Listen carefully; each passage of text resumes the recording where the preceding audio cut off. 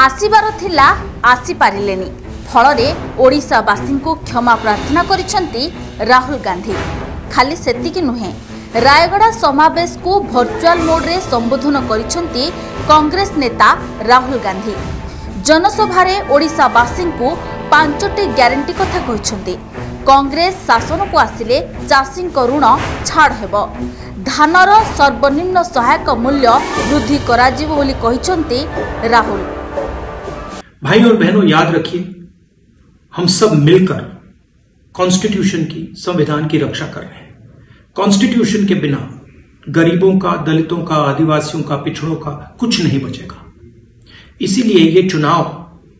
लड़ना और जीतना बहुत जरूरी है मैं आपके साथ हूं आपसे माफी मांगता हूं कि मैं आज नहीं आ पाया मुझे रायबरेली में अपना नॉमिनेशन पेपर फाइल करना पड़ा मैं कुछ ही समय में आपसे मिलने आऊंगा बहुत बहुत धन्यवाद नमस्कार जय हिंद जय ओडिशा ରାହୁଲ ଆହୁରି କହିଛନ୍ତି ଯେ ବିଏ ଏବଂ ଡିପ୍ଲୋମାଧାରୀଙ୍କୁ ଚାକିରିରେ ଅଗ୍ରାଧିକାର ମିଳିବ ଦଳିତ ଆଦିବାସୀ ଓ ପଛୁଆ ବର୍ଗଙ୍କ ଜାତିଗତ ଗଣନା ହେବ ସେହିପରି ଗରିବ ପରିବାରର ମହିଳାଙ୍କୁ ମାସିକ ଆଠ ହଜାର ପାଞ୍ଚଶହ ଟଙ୍କା ମିଳିବ ସରକାରୀ ଓ ବେସରକାରୀ ଚାକିରିରେ ମହିଳାଙ୍କୁ ପଚାଶ ପ୍ରତିଶତ ସଂରକ୍ଷଣ ସହ ମନରେଗା ଯୋଜନାରେ ଶ୍ରମିକଙ୍କୁ ଚାରିଶହ ଟଙ୍କା ମଜୁରୀ ପ୍ରଦାନ କରାଯିବ ଏଠାରେ କହି ରଖୁଛୁ ଯେ କେରଳର ୱାଇନାଡ଼ା ସମେତ ଉତ୍ତରପ୍ରଦେଶର ରାଇବେଲିରୁ ଲଢ଼ିବେ ରାହୁଲ